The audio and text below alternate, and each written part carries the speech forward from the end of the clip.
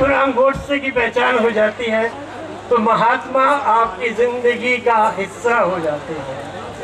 وہی میرے ساتھ ہوا۔ اور ہم نے بچپن سے ایک چیز پڑھی اسکول میں، کالجوں میں۔ کبھی قانون کا النگھن نہیں کرنا۔ My father also rejected the politics of Jinnah He opted for India انہوں نے جنا کو خدا حافظ کہہ کے گاندھی کو خیر مقبل کیا تھا۔ اس باپ کی اولاد ہونے کے ناطے مجھے بچپن سے ناتھو رام گوڈسے کی پہچان ہو گئی۔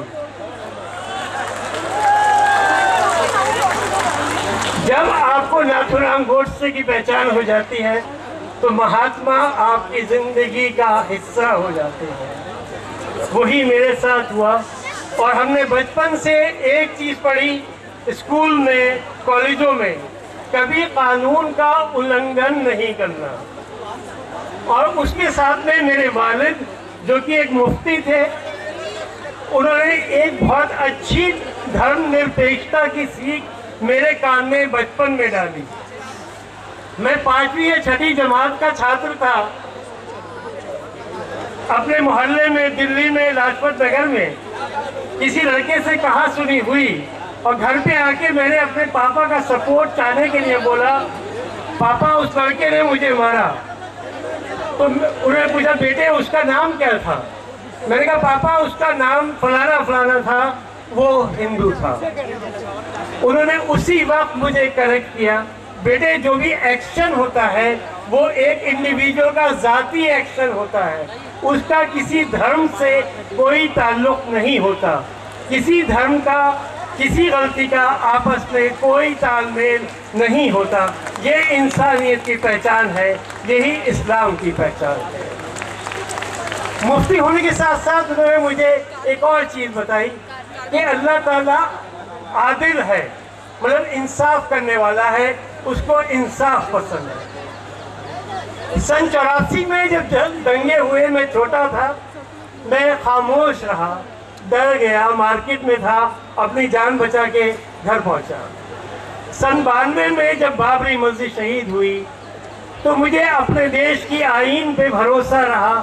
میں خاموش رہا، مجھے اپنے کوٹ کچہری پہ پورا بھروسہ رہا۔ یہ انصاف آج نہیں۔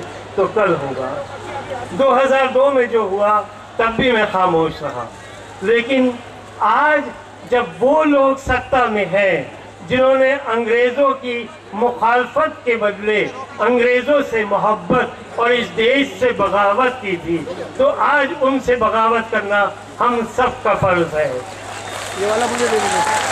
یہ جو قانون لے کر آئے ہیں این سی اور کیب یا سی اے اے یہ ہر ایک بھارتی کا فرض ہے اس کا اُلنگھن کرنا۔ جیسے پرشان بھوشن جی نے بھی کہا تھا، ہرش مندر جی نے بھی کہا تھا، آئیے قسم کھائے ایک نئی سیول ڈسوپیڈینس کی۔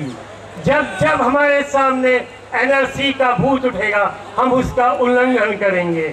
آئیے میرے ساتھ آواز اٹھائیے، ہم اس اُلنگھن کرنے میں ہم ایک ہیں۔ آواز تو ہم ایک ہیں۔ آواز تو ہم ایک